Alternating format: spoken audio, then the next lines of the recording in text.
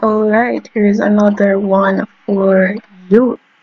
No, it's item 34, still on the specimen paper, refers to the following diagram, and it says, a brick wall 10 meters high by 4 meter, 10 meters long wall by 4 meters high is insulated with a material of thermal conductivity 0.70 watt per meter per Kelvin.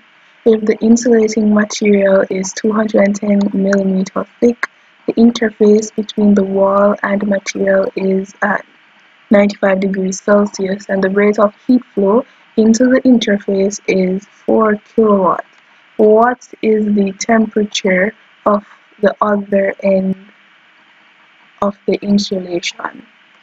Now first off the bat we are going to get the equation Q over T, that's the rate of heat flow, is equal to K, which is the thermal conductivity, A, which is the area of the surface, um, multiplied by theta 1 minus theta 2, where theta 1 is the hotter or higher temperature, and theta 2 is the lower temperature, over x, which is the distance the heat travels.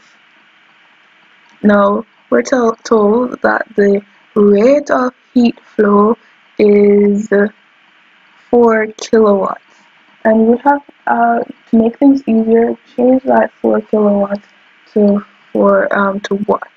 So that would be 4 times 10 to the 3 watts.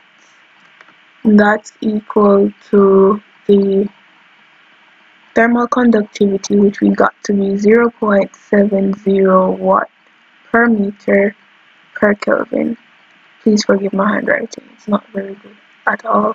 Um, times the area which would be 10 meter because that's the length times that 4 meter which is the height um, multiplied again by the temperatures that we have, but we only have the first temperature, which is 95 degrees Celsius. Okay, probably should move this over. Hold on. See if I can get a little bit more space to work with. Minus theta 2, which would be the cool temp the, the um, lower temperature. Let me stop saying cooler temperature. The lower temperature all over, well, I had cut off the x here.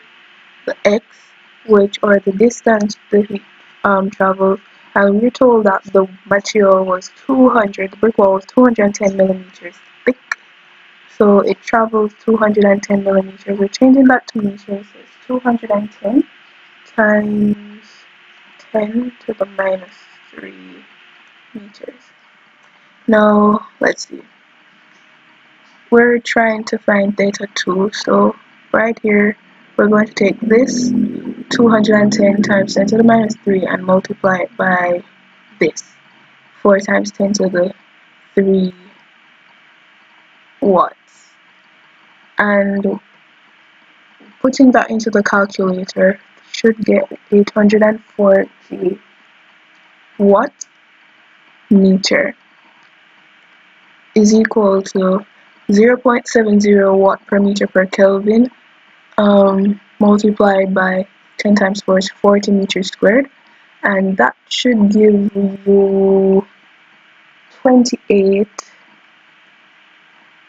what will remain. One meter will cancel one per meter will cancel the meter here so we'll have meter stuff meter squared per kelvin still remains and that would be multiplied by the 95 degrees celsius minus theta 2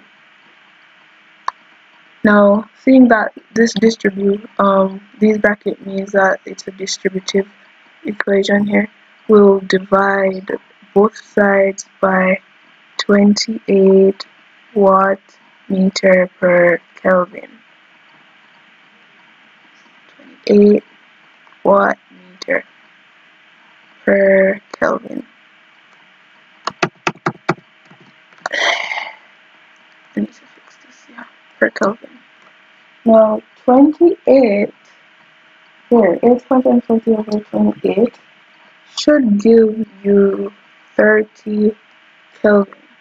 Now, you just flip this because the per Kelvin is at the bottom or in the denominator, so it would just be Kelvin now. And that that's going to be equal to 95 degrees Celsius minus theta 2. Now 30 Kelvin. Now change in Kelvin or degree change in Kelvin is equivalent to a degree change in degree um, shouldn't say degree Kelvin. Change in Kelvin is equal to um, the or is equivalent to the degree Celsius change. So um, I believe it's okay if we subtract this like this.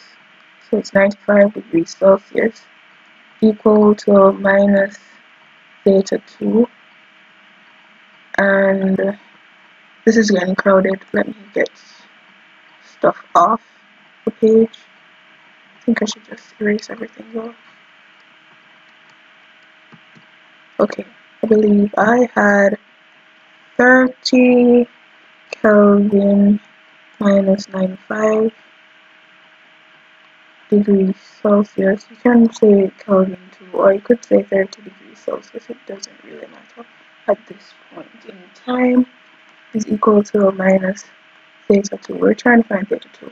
Now we'll get minus 65. I think that answer is in degrees Celsius. I'll just keep that minus theta 2.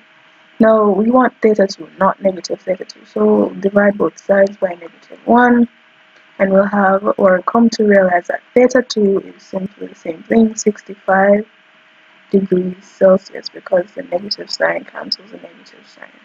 Okay? Yeah. So the answer is D, 65 degrees Celsius.